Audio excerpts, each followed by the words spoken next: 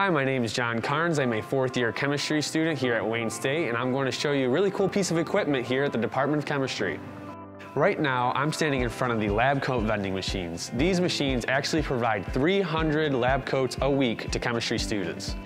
These amazing machines cost $26 to provide unlimited lab coats for chemistry students during the semester.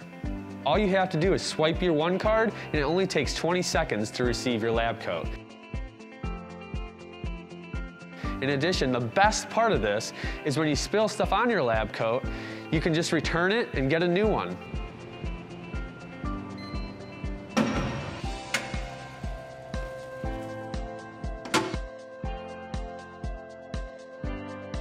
With over 300 students every semester, your support will go a long way to ensuring a successful laboratory experience for these students.